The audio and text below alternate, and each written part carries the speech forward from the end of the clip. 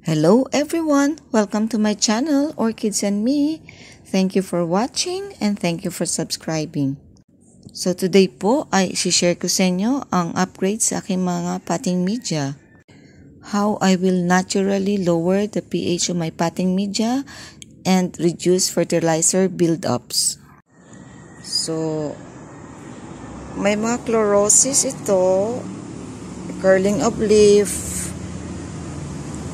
yellowing ng leaves. So, ang potting media niya ay hydroton.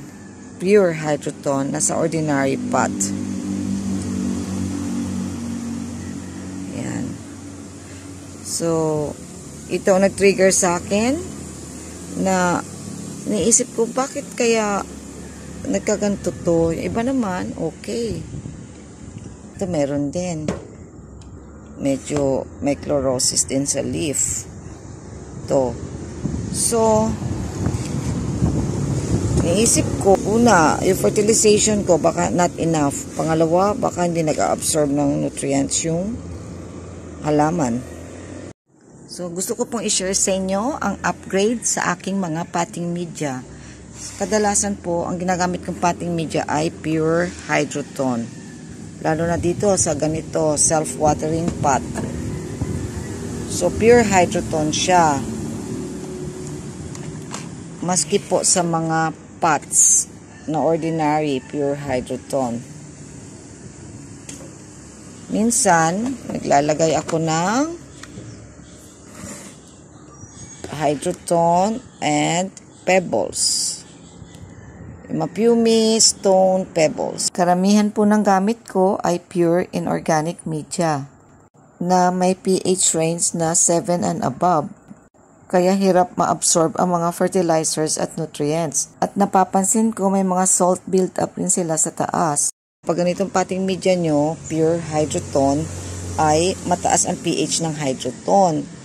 At kadalasan yung mga nagfe-fertilize dadagdag sila ng pH down solution sa kanilang mga fertilizer para ma-absorb ng orchids yung nutrient. Kasi ang absorption ay gusto ng orchids yung range na recommended ay 5.5 to 6.5. Para make sure na ma-absorb ang nutrients, nilolower nila yung fertilizer mix nila sa 5.5 to 6.5.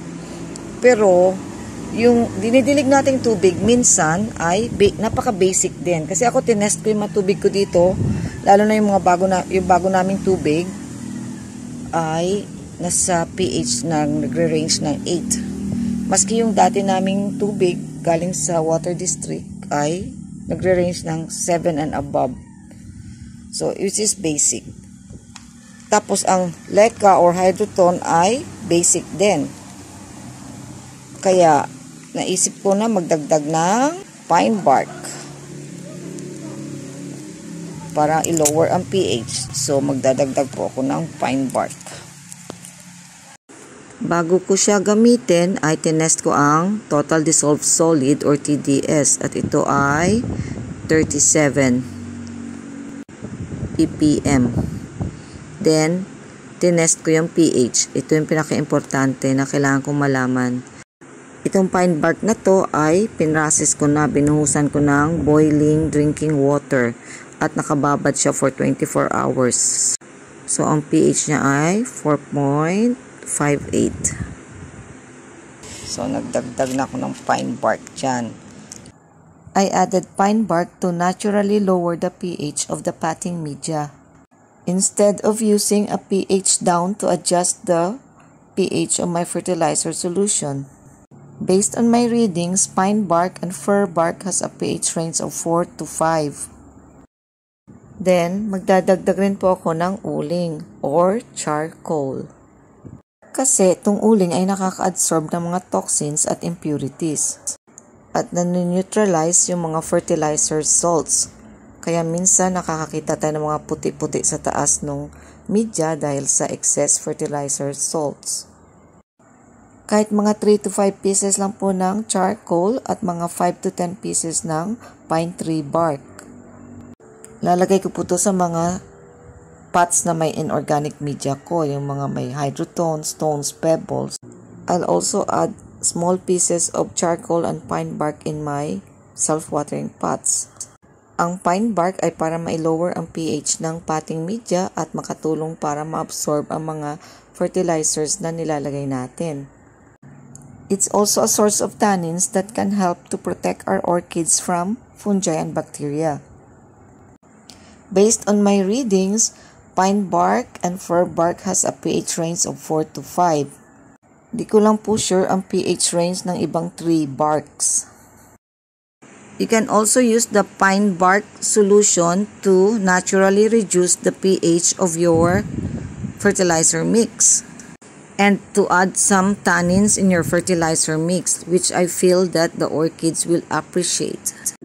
Kailangan po strain, mas pino ang strainer, mas okay kasi kung gagamitin nyo sa sprayer ay baka mag-clog yung sprayer. Ang dami po nang idadagdag na Pine bark solution ay depende sa initial pH ng fertilizer nyo. Kung gumamit po kayo ng rainwater na pang dilute ay mas mataas po ang pH ng rainwater kesa sa drinking water.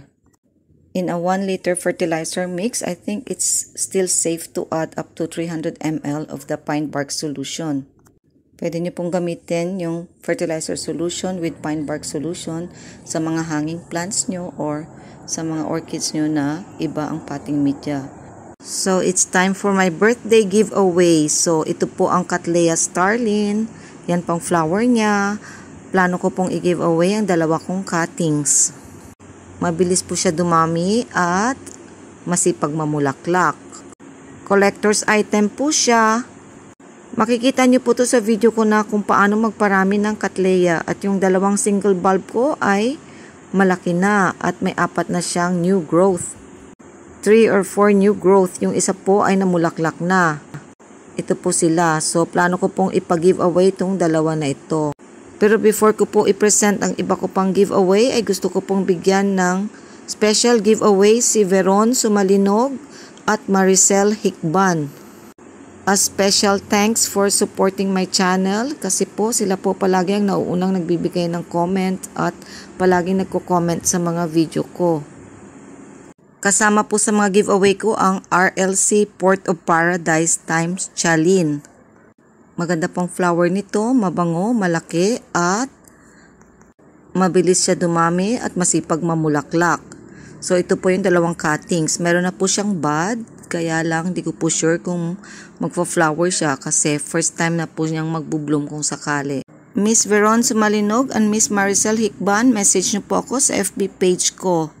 Then, bubunot pa po ako ng tatlo para sa giveaway. Yung first 20 po na magko-comment sa video na to ay kasali sa giveaway. Indicate nyo rin po sa comment nyo kung ano po ang gusto nyong katleya para kung mauna kayo mabunot, ayun ibibigay ko sa inyo. So, yun lamang po. Thank you for watching. See you next video.